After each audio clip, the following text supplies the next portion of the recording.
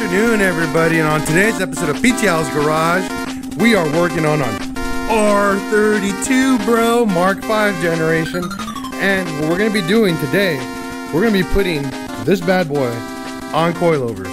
So let's get to work because this is Pinche Al's Garage.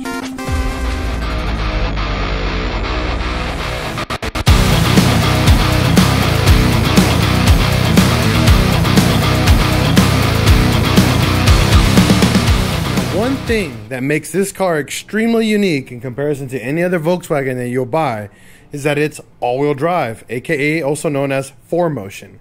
So you're going to have front axles and a rear axle, so you'll have full suspension that's a little different than your traditional front-wheel drive car.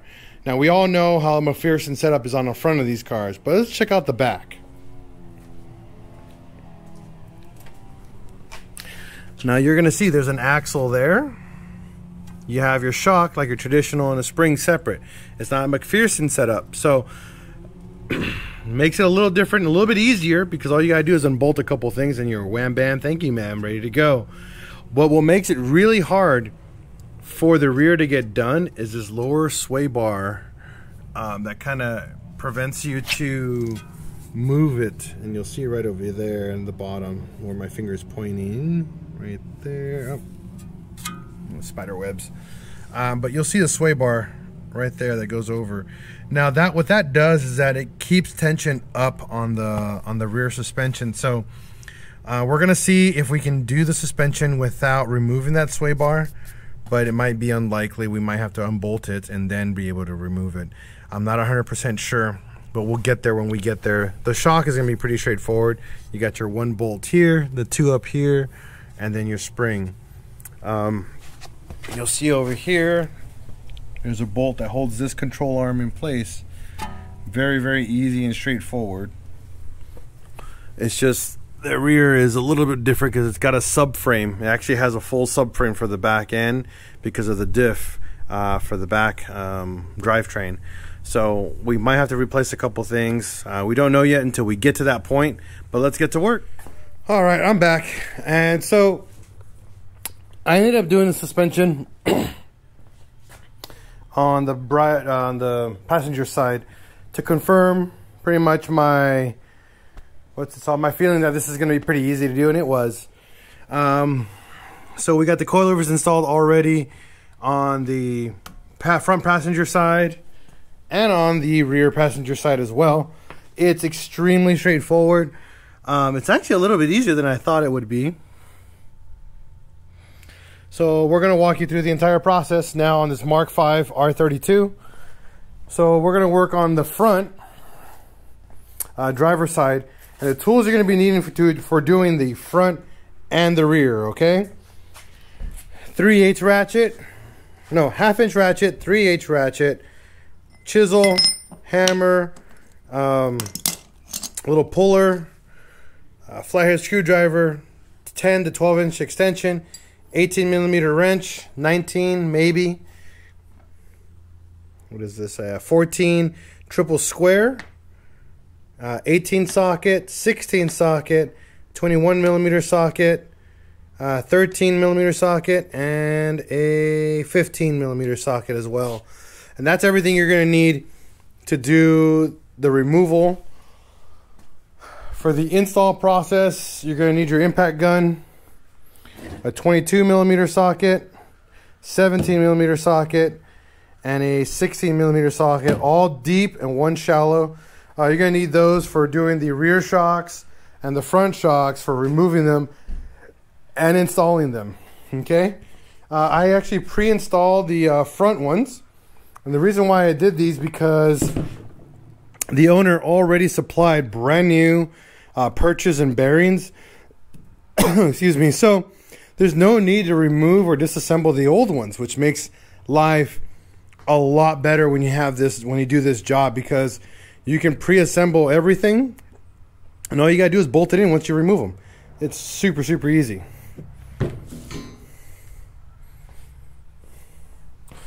So on this side, you're gonna need to remove the 18 millimeter bolt that's right here. There's an 18 right here, And you're to need your uh, 14 triple square right here. This is what's holding the strut in place. Then we're to go down below. You're to see three 16 millimeter bolts here for the ball joint. Okay. You're to need to unbolt those. And then there's an 18 right here on the tie rod. Okay. Now, I typically don't recommend removing the tie rod, but this time I do, uh, just due to, the, due to the fact that this uh, caliper and the brake system on this thing is immensely heavy. Uh, and you're going to need to be able to move this left and right pretty well. Uh, bring a little jack and put it underneath here just for safety's sake so you don't drop it on you because it's very, very heavy. And that being said, because it's so heavy, make sure you uh, unbolt or not unbolt, but loosen up um, the brake line right here. There's a little clip right here that goes right here and holds the brake line. Just, that's why we have the flathead screwdriver so you can pull this up and take it out of the way. Okay, and then this guy just you twist it off and it's easy. It's mounted right here. Okay.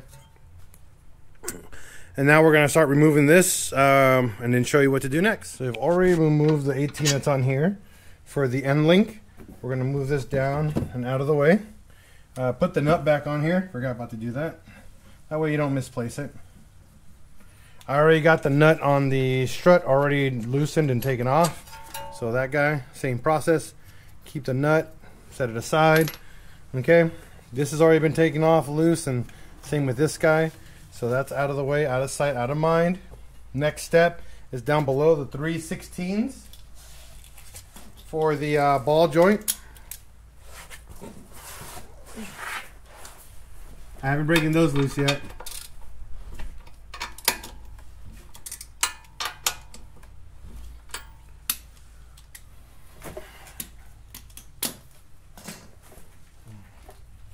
Get my little impact gun. This is just uh once I break them loose, I just use this to take the nuts off a lot faster. So trying to ratchet them off forever. I don't use my impact guns for removals of like breaking loose anything. I use my ratchets for all that.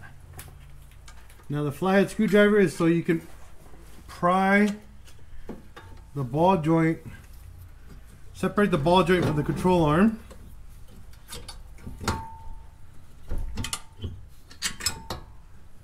Okay. That way it gives us the uh, the play that we need so we can do the um, oh. Ooh almost made a big boo-boo.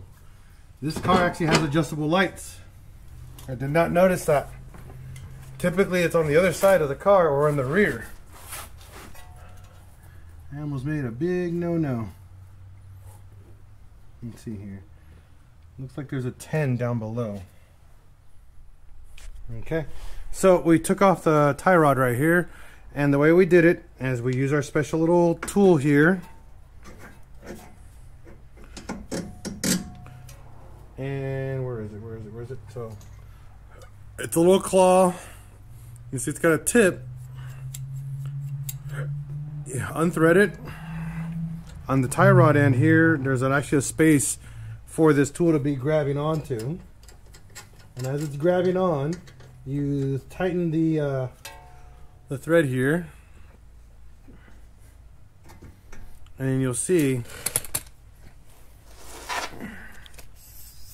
as it's doing it, this will it'll push up on the tie rod until it pops out. You'll hear a really loud dong, and then it's out and then uh, put the nut back on here just for safekeeping. Set it down. Take the tool off. It's very very simple. You just got to be very careful with the tool because uh, some of these I bought, I bought that one a long time ago. It's really cheap. I want to invest in one that's like solid and doesn't have any adjustments. Um, I recommend not buying these universal type ones these guys. You'll see they have like a nut here. And the reason for that is that it's like how can I say, you can change it and turn it around. The problem with these is that the metal is so soft on these plates right here, they bend and they change the angle and because of that. Um, and because of that, it doesn't really uh, do a really good job of going straight and, and stable enough. And you'll see here it's kind of crooked. And again, this is what happens with cheap tools. I've had this for years though. I've only used it for tie rods. I've never used it for anything else. Uh, on these cars, there's nothing else that you really need a hub puller for or a tie rod in uh, puller, but this works really well. I recommend though buying one that's not adjustable. That's just it's one style claw, and that's it. It doesn't have any special bracketry, anything whatnot.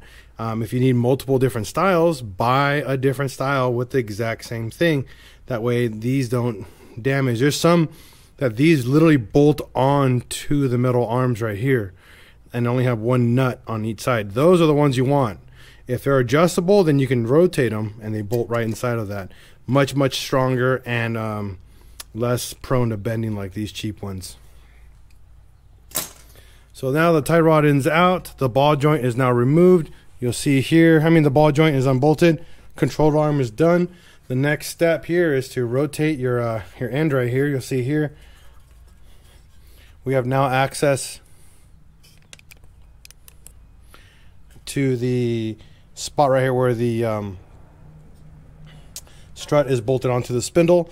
We're going to grab our chisel and hammer because we don't buy uh, tools for this job specifically. We just use what we have around the house because I'm the average Joe and I'm not going to buy specialty tools to do this job when you can do it with any tool you have. Just find the right one.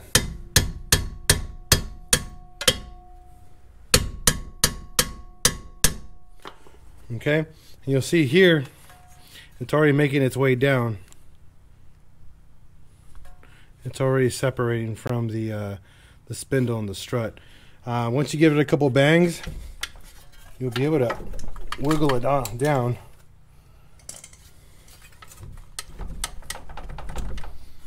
You see, I'm already down a whole inch. Just keep doing it and repeating the process until it falls down. Just be very careful because this rotor and uh, calipers uh, combo is extremely heavy, so you can definitely hurt yourself pretty badly if you don't catch it, okay? And just be very careful, guys.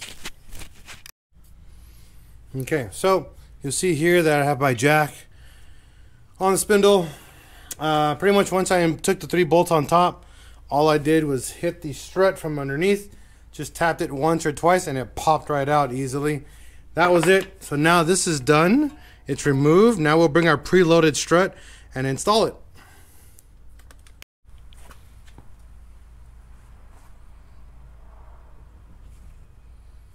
Okay, so you'll see here,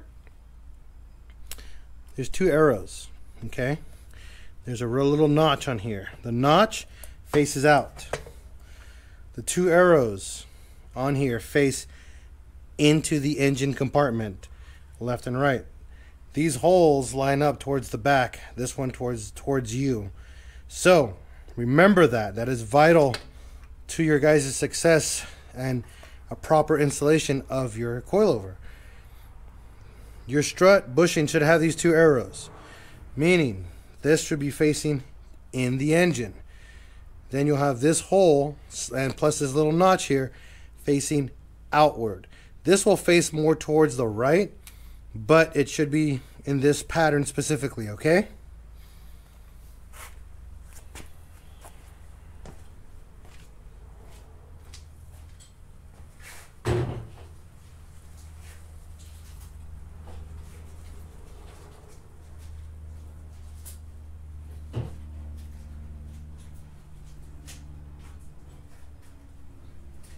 This job has to be done by hand, no special tools. It's just very tedious, and you got to be very careful because you can you can hurt yourself. So, so I'm gonna be putting this in like this.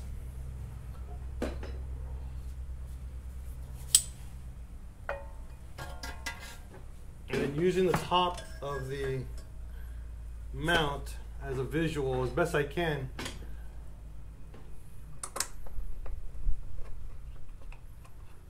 And what you want to do is get one bolt in. If you can. Like I just did. And then verify if you put it in correctly. So I have the little rubber notch facing me and the two other bolts are going out.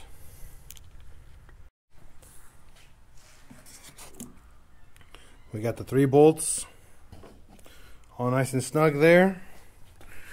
While those three are there, you'll notice your uh, coilover is actually shorter, or your strut itself is actually shorter than the factory one. This makes life a lot easier to do this job. Just just a heads up. Um, there's no special tools required to install besides having a jack and pushing it up and making it go up straight. That's the catch. So you'll see here, make sure this is facing out like that. There's a little metal notch back here that lines up with your strut on the back. And then what we're going to do is going to go up using your jack, doing the best you can to line it up by hand.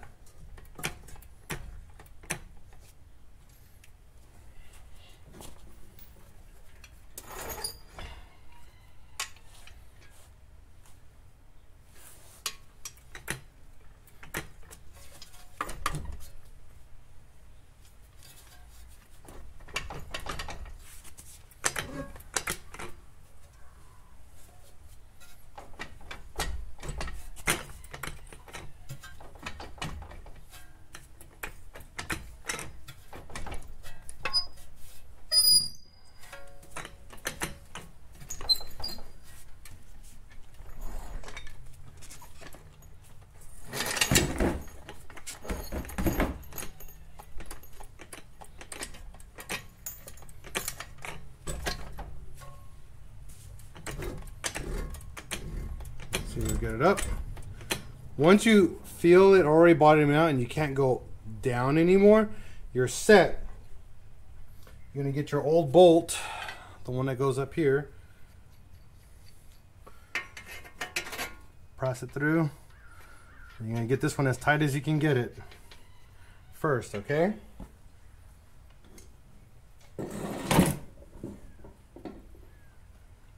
Ratchet, there you go.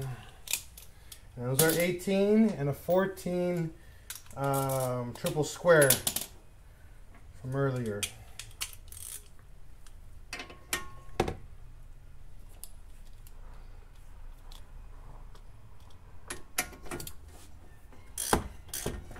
And then you just use your one of the ratchets to hold it in place while the other one tightens the nut or the bolt.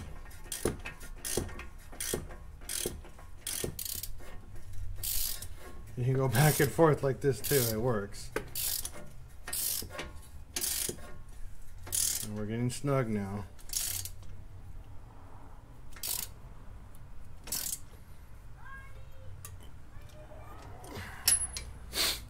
Nice and snug.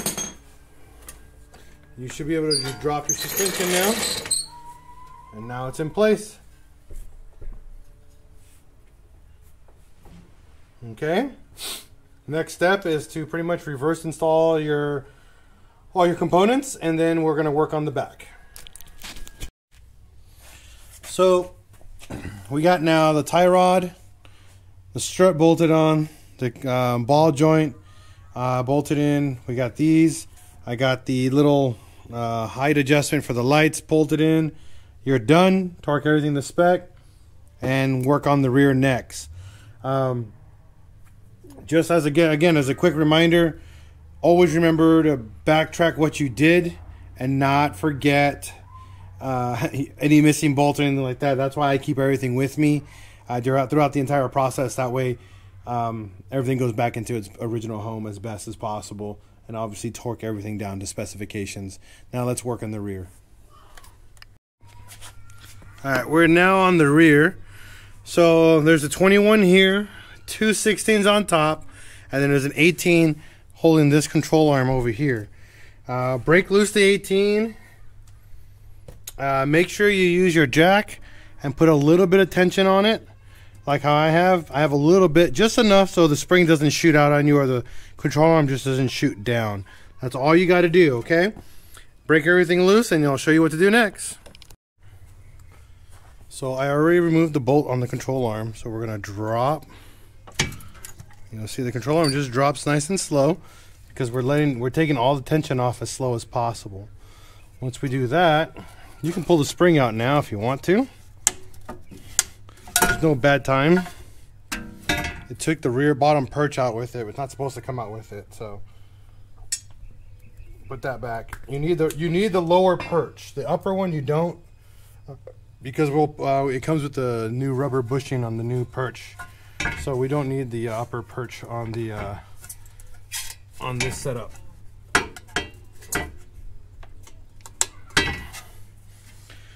So keep the lower perch. The upper one, you this guy we don't need anymore. Your new spring and uh, the new uh, uh, strut, uh, the height adjustment will come with it. The next step here is removing this 21 right here. So this is a 21 millimeter. You need to take that off, and then you got the two 16s on top. So we're done. We've just removed the rear shock, the two 16s and the eight, uh, the 21 here in the back. There is a light height adjustment in the rear as well. But the good thing on this car, it goes down more than far enough for us to put the spring in and the uh, coilover in here. So I'm not uh, overly concerned about damaging it because it's got a lot of play for us. Next step is to remove um, this shock, separate the shock from the uh, shock mount. We all we need is just the top mount and this plastic cover, and we have to use a 17 to remove these guys. All right. So now on your spring, you have a flat side and a round side. Flat side points up, round side points down. When you put the round side down, it goes into the perch and wait until you spin it until it locks and you can't spin it anymore. You're going to put your perch in, slide into its little, into its new home. Okay. The perch itself has a little rubber um, gasket on it and that just prevents it from squeaking while it's on here. Once you have that, you get your jack back over here and you're going to bolt this on first. Okay. Don't put the shock in. Next, first bolt the control arm down, then the shock. Uh, I'm sorry. um, put the shock in first then bolt on the uh, um, the spring. Wrong order. Ah, got ahead of myself. Shock goes in first, then the spring. Because uh, if not, you're not going to have enough space to uh, ratchet onto the uh, the shock um, correctly. So we mounted the shock using the 216s on top, then the 21. Then we put the sp spring in with the perch, line that up. Use your jack. Use your jack to push the control arm up to help you line up the bolt for you can get this uh, get this guy in. Once you do that, pretty much smooth sailing from there on forward.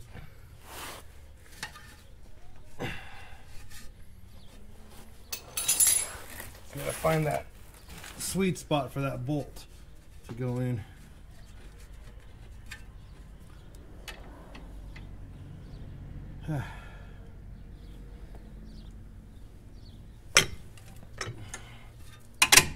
There it is. You always gotta give it a little college try here. You'll get it in though.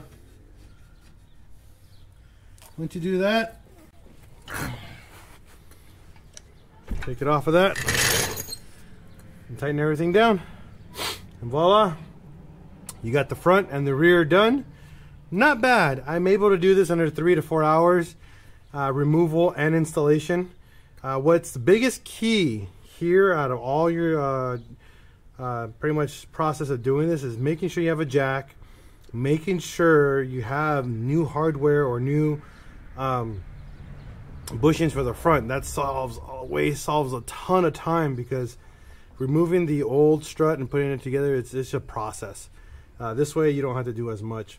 I give it about seven threads down, which is about an in, about half an inch of space. Um, I think it's going to be just enough so the car won't be too low or too high. Uh, much better stance than I had before. uh, that's it. Let's get it all tightened up and see what it looks like.